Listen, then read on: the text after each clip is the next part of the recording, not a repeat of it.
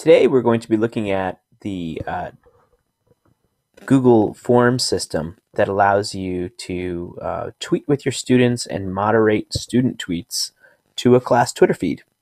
So I'm kind of excited about this experiment because I'm using uh, Screencastify to record the video clips and I'm hoping to use WeVideo to splice them together. So uh, it's, a, it's a first for me. So let's see how this works out.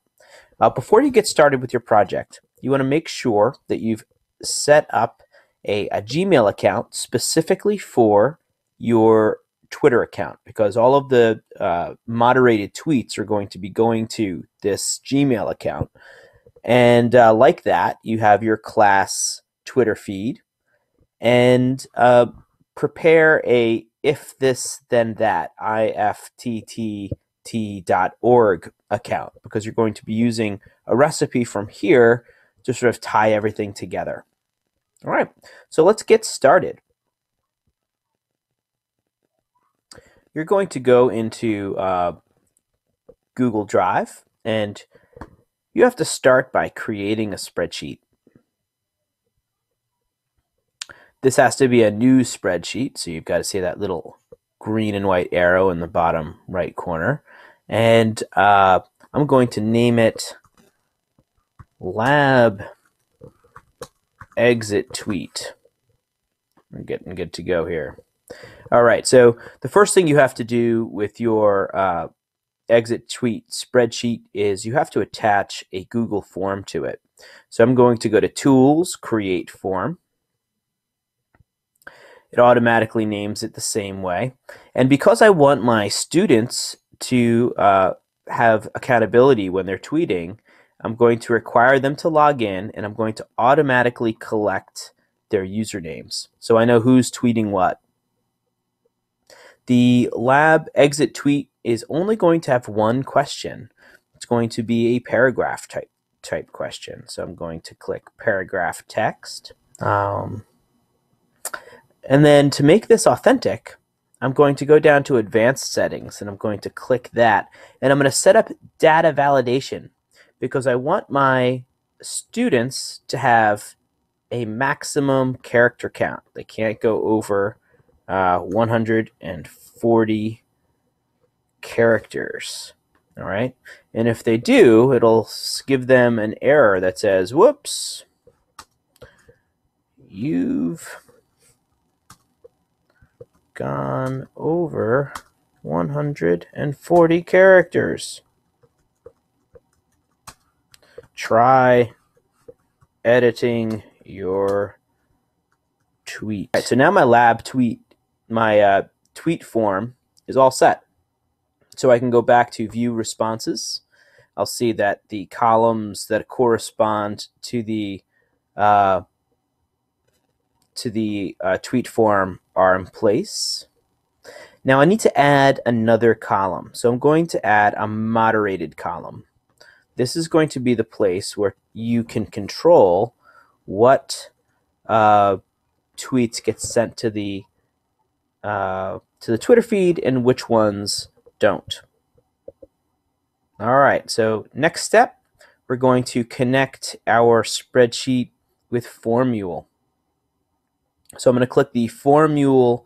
Oh, if you don't have formMule yet, uh, you want to go to Add-ons, go to Get Add-ons, and you're going to do a search for form mule. One word. All right. Once you've added form mule, you proceed to add-ons. Go to form mule Email Merge Utility and click Launch. Once you launch the uh, Merge utility, it's going to ask for some permissions. So it's loading up. There we go. All right. So our source data sheet. You want your form responses to be where the data uh, gets fed into formMule.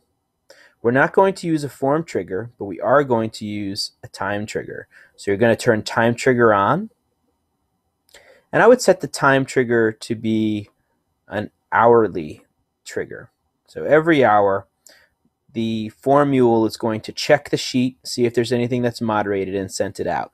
Send it out. That mean that some, that means that some of the tweets might have a delay, but that's okay. Click Next for templates and send conditions. All right. Now, we're only going to have one unique email template, basically the email that gets sent to Twitter. So uh, I can actually name that if you want to be uh, thorough. And the send condition is going to be the moderated field, so that moderated column. Now you can set this to be yes or moderate or the number one. I'm going to set it to not null. So anything that I put in that column is going to be moderated. If I leave it blank, it stays where it is. Okay, I'm going to save my template settings. And I'm going to edit my template. Okay, this is where you have to start pulling in some of your other uh, accounts. So I'm going to send my moderated tweets to the special Gmail that I created specifically for this process.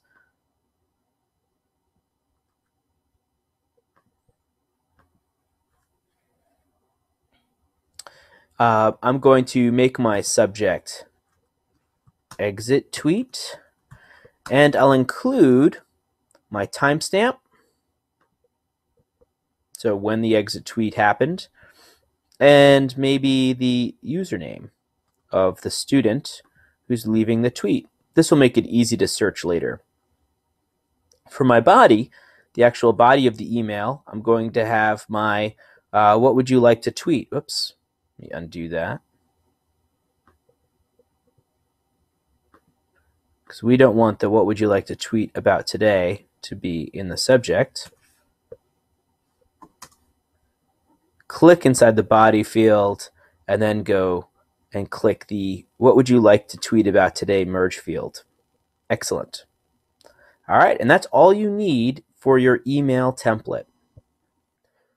So next, we're going to connect our lab exit tweet form to our special Google account set up specifically for this purpose using if this then that. Now, I've got a recipe that I recommend you use that I link to in the blog. Um, it's Gmail to Twitter by St. Brendan's College. Um, there are lots of different if this and that recipes that will do something similar. The thing that I like about this one is the trigger is based on a specific Gmail address. So if an email comes from, in this case, my school email account to this special um, Gmail account that I've set up for my moderation system, it'll automatically send that tweet out. Uh, so that adds an element of control in there. If I if I personally email this account, I'll get a tweet. So uh, I have to activate two channels in order for this to work. I have to activate the Gmail channel and the Twitter channel. So um, my Gmail, my Gmail. This is tricky because you have to make sure that the uh, Chrome uh, session that you're in or whatever uh, browser you're using that you are currently signed into your special Gmail account, the account that is created just for this purpose, and your class Twitter feed. Okay, if you're signed into both of those things, then you can activate these channels and everything will connect the way it's supposed to. So I'll connect with my special Gmail account and I'll connect with my class Twitter account.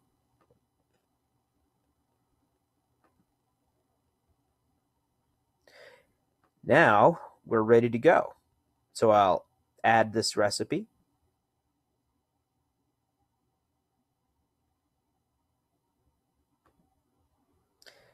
and I have to customize the recipe now. So the recipe title, that's fine. Go down to, to the triggers. Your email address is going to be the email address that you'll be using with the form. It has to be the same email address you were using when you uh, turned on formMule.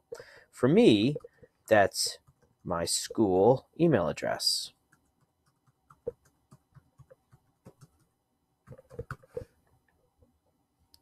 Now, your action. This is also tricky. By default, the action is the subject. Now, that's not what I want to tweet at all.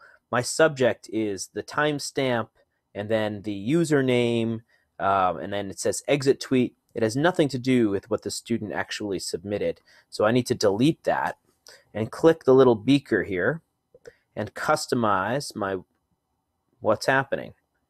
Choose body plain because that is the uh, body of the email that gets sent. And uh, it includes the, you know, what are you going to tweet about form response. And hit update. There you go. This will automatically run. Now, uh, the Twitter moderation system is complete. Thank you very much for listening. I hope this was helpful. If you have any questions, go to my blog, edtechtofu uh, and you can ask me in the comments thread of the blog post. Thank you very much.